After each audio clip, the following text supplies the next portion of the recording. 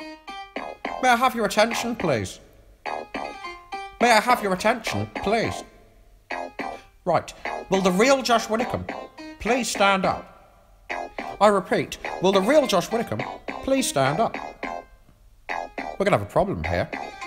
You'll act like you've never seen a white person before. Jaws all on the floor like Pam and Tommy just burst in the door and started whipping her ass worse than before they first were divorced, throwing her over furniture.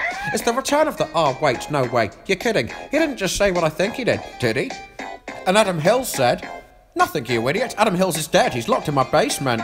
Feminist women love Widdicombe. Chicka, chicka, chicka, Josh Widdicombe. I'm sick of him. Look at him. Walking around, grabbing his you-know-what, flipping the you-know-who. Yeah, but he's so cute, though. Yeah, I probably got a couple of screws up in my head loose, but no worse than what's going on in your parents' bedrooms. Sometimes I want to get on TV and just let loose, but can't. But it's cool for Tom Green to hump a dead moose. My bum is on your lips. My bum is on your lips. And if I'm lucky, you might just give it a little kiss. And that's the message that we deliver to little kids and expect them not to know what a woman's clitoris is. Of course they're going to know what intercourse is. By the time they hit fourth grade, they got a Discovery Channel, don't they?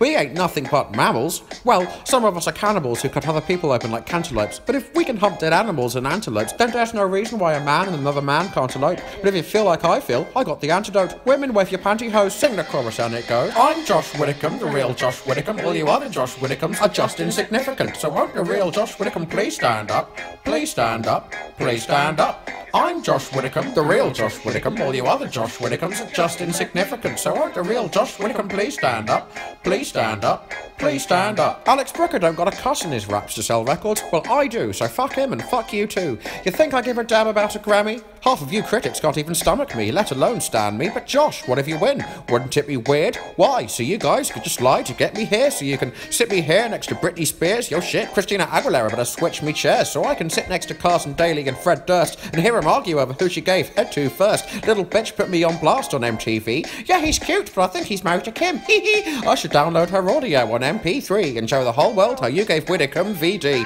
I'm sick of all your little girl and boy groups. All you do is annoy me, so I have been sent here to destroy you. And there's a million of us just like me, who cuss like me, who just don't give a fuck like me, who dress like me, walk, talk, and act like me. It might just be the next best thing, but not quite me. I'm Josh Widdicombe, the real Josh Widdicombe. All you other Josh Widdicombes are just insignificant. So won't the real Josh Widdicombe please stand up?